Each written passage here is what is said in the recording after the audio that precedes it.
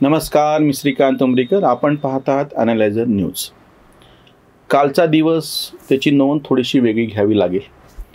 राष्ट्रीय स्वयंसेवक संघाच्या स्थापनेला काल विजयादशमीला नव्याण्णव वर्ष पूर्ण झाले आणि कालपासून त्यांची जन्मशताब्दी सुरू होते आहे. ही शताब्दी वर्ष आहे आणि पुढच्या वर्षी विजयादशमीला काहीतरी एक मोठ्या सोहळ्याचं आयोजन करण्यात आले. मला वाटतं कर्नाटकात त्या सोहळ्याचं आयोजन करण्यात आलेलं आहे. आर एस एसचे टीकाकार भरपूर आहेत. आणि विशेषत राहुल गांधींनी फार भडक पद्धतीने महात्मा गांधींच्या हत्येमध्ये संघाचा कसा सहभाग असता इथपासून ते सावरकर आणि संघाला जोडायचं आणि त्या निमित्ताने शिव्या घालायच्या किंवा स्वतंत्र संग्रामात संघ कुठं होता? काय वाचेल ती सगळी मांडणी केल्या गेली. एवढं सगळं असताना सुद्धा ज्या संघाला म्हणजे आत्ता दोन हजार चौदाला पहिल्यांदा एक संघ स्वयंसेवक स्वतःच्या जीवावरती बहुमत मिळवून पंतप्रधान झाला. तोपर्यंत अटल बिहारी वाजपेयींचे सरकार काय म्हणता येईल त्याला अल्पमताचंच सरकार होतं. जनता पक्षाच्या प्रयोगामध्ये सुद्धा खरं तर सगळ्यात जास्त खासदार हे मूळचे जनसंघाचे असलेले निवडून आलेले होते. पण पंतप्रधान मात्र मोरारजी देसाईला केला गेलं तरीही कुठल्याही संघवाल्यांनी याच्याबद्दल कधी आस्थागायत तक्रार केलेली नाही. आताही मी तुम्हाला आव्हान करतो तुम्ही हे जे तेव्हा निवडून आलेले जनता पक्षाच्या तिकिटावरचे सगळ्या खासदारांची संख्या मोजा सगळ्यात जास्त संख्या ही पूर्वाश्रमीचे जनसंघवाल्यांची होती. नानाजी देशमुख यांना तडजोडीचा उमेदवार म्हणून पुढं करावा असं वारंवार समोर आलेलं होतं. पण त्या नानाजी देशमुखांनी नम्रपणे नकार दिला की मी सक्रिय राजकारणात नाही त्याच्यामुळे याच्यामध्ये येणार नाही. ज्यांना नंतर भारतरत्न देऊन गौरवण्यात आलं. संघाच्या टीकाकारांनी एक साधं उत्तर द्यावं. गेली शंभर वर्ष सत्ता असो किंवा नसो सातत्यानं त्यांचं काम चालू आहे. सातत्यानं सेवा कार्यामध्ये संघ स्वयंसेवक पुढे असलेले दिसतात. अगदी आत्तासुद्धा पावसामुळे प्रचंड प्रमाणामध्ये विविध ठिकाणी जे नुकसान झालं. त्या सगळ्यामध्ये मदत कार्यामध्ये सगळ्यात पहिल्यांदा जे काही छायाचित्र समोर आले सोशल मीडिया हिरवी तर वैयक्तिक पातळीवरती कोणाला माहिती कळती ती वेगळी. ते फक्त स्वयंसेवकांचे होते. आज ही गोष्ट अशी आहे की संपूर्ण भारतभर म्हणजे एकीकाळी हा जो सगळ्यात मोठा फायदा महात्मा गांधींमुळं काँग्रेसला होता तोच ओळखून खरं तर. हेडगेवारांसारख्यांनी गांधीचंच मॉडेल उचललं खरं तर सनातन हिंदूंचंच मॉडेल उचललेलं होतं. की आपण म्हणजे एक फार साधा विषय होता तो माणसानं माणसाशी अतिशय प्रेमानं बोलणे त्याच्याशी संपर्क करणे त्यांना विचारपूस करणे. साधी अगदी गोष्ट होती. चरखा गावोगावच्या महिलांच्या हातामध्ये देऊन महात्मा गांधींनी किंवा शेतकऱ्यांची आणि ते सगळे प्रश्न घेऊन बारडोलीचा जो सत्याग्रह वल्लभभाई पटलांचं उदाहरण आहे. ह्या सगळ्यांनी सर्वसामान्यांच्या जीवाला भिडण्या त्यांना भिडणारे विषय घेतले होते आणि त्याच्यामुळं ते काँग्रेस तेव्हा अगदी सर्वसामान्य लोकांपर्यंत पसरू शकले. नेमकं हेच ओळखून एकोणीसशे पंचवीसपासून ह्याच्यामध्ये पुन्हा एकदा सनातन सगळं म्हणजे सगळ्या हिंदूंना एकवटलं पाहिजे कारण की ज्या पद्धतीने जिनांची मागणी समोर येत चाललेली होती पाकिस्तानची तेव्हा आणि प्रत्यक्ष हिंदूंची बाजू घेणारं कोण आहे पण त्याच्यामध्ये कुठलाही भडक हिंदूवाद हिंदुत्ववाद उभा न करता संपर्क साधणे प्रत्येकानं प्रत्येकाकडे जाणे विचारपूस करणे इतक्या साध्या गोष्टीवरती संघ उभा राहिला. आणि आज शंभरावं वर्ष साजरं करतो आहे. आज तुम्ही कितीही टीका करा संघाने जेव्हा राम मंदिराचा मुद्दा समोर आणला त्याच्यातला भडक भागही मी बाजूला ठेवतो. जेव्हा त्या राम मंदिराच्या बांधकामासाठी निधी संकलन चालू होतं ह्या छत्रपती संभाजीनगरमध्ये मी स्वतः फिरलेलो आहे.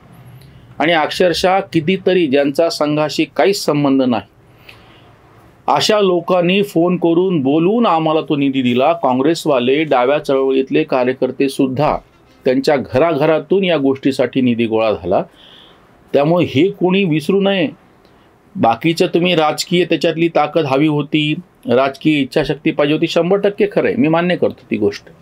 ह्याच्या सगळ्याच्या पाठीशी म्हणजे तुम्हाला दिसत असताना एखादं शरीर दिसत असतं त्याच्यातलं मांस त्याच्यातलं रक्त त्याच्यातलं बाकी सगळं दिसत असतं पण आतमधला जो हाडाचा सापळा असतो ज्याच्यामुळं ते प्रत्यक्ष सगळं शरीर दणकटपणे तुमच्यासमोर उभं राहतं तसं आज दिसत असलेल्या भाजपच्या सगळ्या या शरीरामध्ये आतमध्ये संघाचा हा असा बळकट असा सापळा आहे.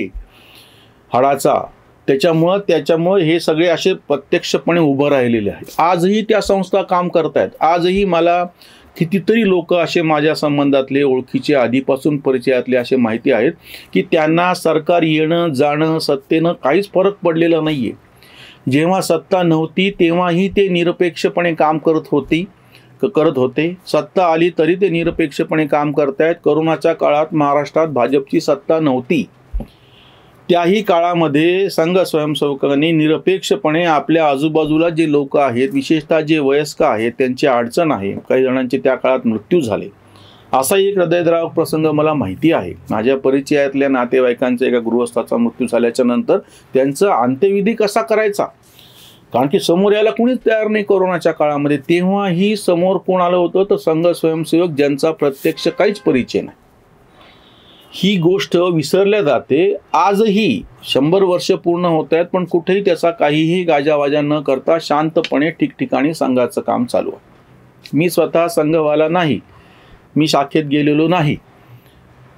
त्यांचं काम पात्र मी आधीपासून पाहत आलेलो आहे. माझ्या प्रत्यक्ष नातेवाईकांमधलं कोणी नाही पण माझ्या बरेच जवळपासचे लोक असे जे होते जे संघामध्ये काम करतायत निरपेक्षपणे करतायत. मी परत तीच गोष्ट सांग एक तर उदाहरण असं आहे की माझ्या त्या संबंधित गृहस्थ ते स्वतः मोहन भागवतांबरोबर गाडी चालवत होते. त्यांना मागे बसवलेलं होतं. बाजूच्या बसल्याच्या बरोबर जेव्हा फोन आला त्याचा मोबाईल दिलेला होता तेव्हा. आणि तो पंतप्रधान मोदींच्या कार्यालयातून आलेला फोन होता. आणि जेव्हा दोनदा फोन आला त्यांनी उचलला आणि यांना विचारलं की पंतप्रधानांच्या कार्यालयातला फोन आहे आणि त्यांना काही बोलायचं ना मोहन भागवत शांतपणे असं म्हणाले की काही हरकत नाही आपण जेव्हा आपल्या ज्या स्थानावरती पोहोचणार असू तिथं गेल्याच्यानंतर त्यांना वेळ दिली ह्यावेळी फोन करा किंवा आम्ही फोन करू. आणि ते मागं शांतपणे झोपी गेले. तेव्हा मोदी पंतप्रधान होते. आजही आहेत जसे. म्हणजे त्याच्यामुळे न तो कार्यकर्ता विचलित झाला न स्वतः मोहन भागवत काहीतरी एक्साइट झाले पंतप्रधान मोदींच्या ह्याच्यातला फोन आहे म्हणून. आपलं आपलं जे काम चालू आहे ते शांतपणे पूर्ण करावं या बाकीच्या गोष्टींना काहीच होणार नाही. आणि उलट हे सिद्ध झालेले की जे असे काठावरचे कार्यकर्ते होते किंवा जे बाहेरून आलेले होते हर्षवर्धन पाटलासारखे आता परत घर परत घर वापसी त्यांची झालेली आहे ते टिकलेले नाहीत. उलट जे निष्ठावंत पद्धतीने आजही काम करत आहेत अगदी दोन दिवसापूर्वीचा प्रसंग आहे. इथल्या या छत्रपती संभाजीनगरच्या हेडगेवार रुग्णालयामध्ये डॉक्टर आनंद फाटक म्हणून आमचे ज्येष्ठ मित्र आहेत. आणि त्यांना मी एका प्रकल्पाच्या संदर्भामध्ये जेव्हा फोन केला एका क्षणाचाही विलंब न करता त्यांचं उत्स्फूर्तपणे म्हणजे त्यांचं उत्तर असं होतं की बिलकुल सांगा तुम्ही म्हणाल तेव्हा आपली वेळ जेव्हा जुळेल आपण त्या ठिकाणी जाऊन येऊ. आणि जो प्रकल्प ज्याचं मी नाव घेत होतो तो गांधीवाद्यांचा आहे. तेव्हा ते असं नाही म्हणाले की तो प्रकल्प आपल्या विचारसरणीच्या लोकांचा नसल्यामुळे आपण तिथे काय करणार? संघावरती टीका करणाऱ्यांना हे लक्षात येत नाही की तुम्ही ज्या गोष्टीवरती टीका करता ज्या मोदी अमित शहांवरती टीका करता ज्या भाजपच्या त्याच्यातले त्या जे सत्तातूर झालेले आहेत त्यांच्याकडे पाहून टीका करतायत ते पूर्णपणे वेगळे आहेत. राष्ट्रीय स्वयंसेवक संघ म्हणून जी म्हणलं ना आतला जो प्रत्यक्ष बळकट असा हाडाचा सापळा आहे सांगाडा आहे तो जे काम करतो आहे ते आजही तसंच चालू आहे. आणि ते तसं चालू आहे म्हणून त्यांची शंभर वर्ष पूर्ण होत आहेत. आणि त्याच्या नेमकं उलट सेवादल सारखी चळवळ म्हणजे ती काँग्रेस सेवादल असो त्याचं तर उदाहरण मी वारंवार देतो. मी त्या स्वतः घरातला असल्यामुळे. किंवा राष्ट्रीय सेवादल असो. ह्या सगळ्यांच्या किंवा बामसेफ नावाची एक संघटना होती. निव्वळ दलितांसाठी आणि जातीवर आधारित अशी ती काढल्या गेलेली होती. या सगळ्या गोष्टी कशामुळे अपयशी ठरल्या किंवा त्यांचा विस्तार होऊ शकला नाही किंवा त्या मर्यादित का ठरल्या? कारण की त्यांना व्यापक होता नाही आलं. त्यांना चिवटपणे असं हे काम करण्याची जी गोष्ट संघवाल्यांकडे आहे कारण की त्यांनी ती आपल्या सनातन परंपरेमधून शोधून काढलेली आहे. प्रत्यक्ष आचरणामध्ये संघाच्या रोजच्या याच्यामध्ये कुठल्याही पद्धतीचा धार्मिक विधी नाही आहे पण त्यांनी सनातन जी परंपरा आहे ती ओळखून त्या पद्धतीने आपली सगळी कार्याची जी आखणी जी केली त्याच्यामुळे आज त्यांची शंभरी साजरी होते आहे.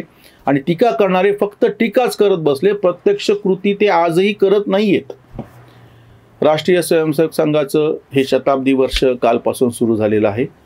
जे कार्यकर्ते आतापर्यंत झटले ज्यांनी अक्षरशः त्या सगळ्या कामामध्ये आपलं सगळं आयुष्य वाहून दिलं. घरदार पूर्णपणे आणि व्यक्तीच्या महत् व्यक्ती महात्म्याचा लोप करून व्यक्तीला महत्त्व दिल्या जात नाही संघ परिवारामध्ये.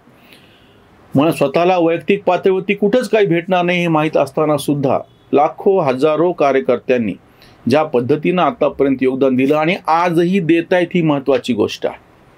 त्या सगळ्या कार्यकर्त्यांच्या निष्ठेला शतशहा नमन. शंभराव्या या वर्षाच्या निमित्तानं विविध उपक्रम संघ परिवाराकडून हाताळले जाणार आहेत. त्या सगळ्यांना शुभेच्छा. टीकाकारांना माझी परत एकदा विनंती आहे. टीका तुम्ही जरूर करा तुमचा तो हक्क आहे. पण किमान डोळसपणे करा. आणि दुसरी गोष्ट म्हणजे त्यांच्याकडे जो चिवटपणा आहे त्याच्यातून निदान काहीतरी शिका. इथेच थांबूयात. धन्यवाद.